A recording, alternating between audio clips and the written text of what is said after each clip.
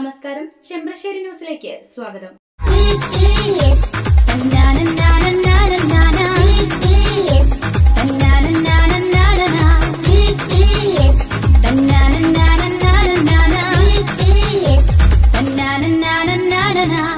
V T S mall വളരുന്ന ബന്ധം തുടരുന്ന വിശ്വാസം. Opposite bus stand Manjeri road Pandikkad.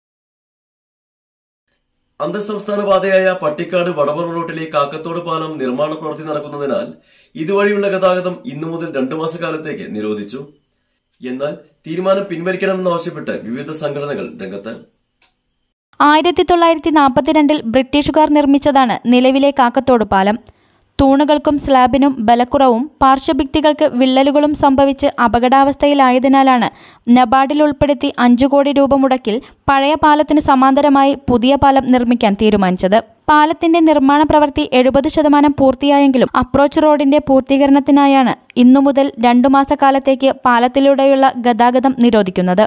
ഈ കാലയളവിൽ പെരിന്തൽമണ്ണയിലേക്ക് പോകേണ്ട വാഹനങ്ങൾ വണ്ടൂർ വാണിയമ്പലം താളിയംകുണ്ട് ചെമ്പ്രശ്ശേരി പൂളമണ്ണ വഴിയും അതുപോലെ തിരിച്ചും മഞ്ചേരി ഭാഗത്തേക്ക് പോകേണ്ട വാഹനങ്ങൾ ചെറുകോട് കുട്ടിപ്പാറ വഴിയും അതുപോലെ തിരിച്ചും പോകണമെന്ന് അധികൃതർ അറിയിച്ചു. എന്നാൽ ഇത്രയും ദിവസം പാലം അടച്ചിടുന്നതിനെതിരെ കോൺഗ്രസ് എസും ബസ് ഓപ്പറേറ്റേഴ്സ് ആൻഡ് വർക്കേഴ്സ് അസോസിയേഷനും രംഗത്തെത്തി. ഇതു സംബന്ധിച്ച് ഇരു സംഘടനകളും ഗതാഗത മന്ത്രിക്ക് നിവേദനം നൽകി. News desk Pandikkad. കൂടുതൽ വാർത്തകൾക്കായി ഈ ചാനൽ സബ്സ്ക്രൈബ് ചെയ്ത് ബെല്ലൈക്കൺ എനേബിൾ ചെയ്യുക.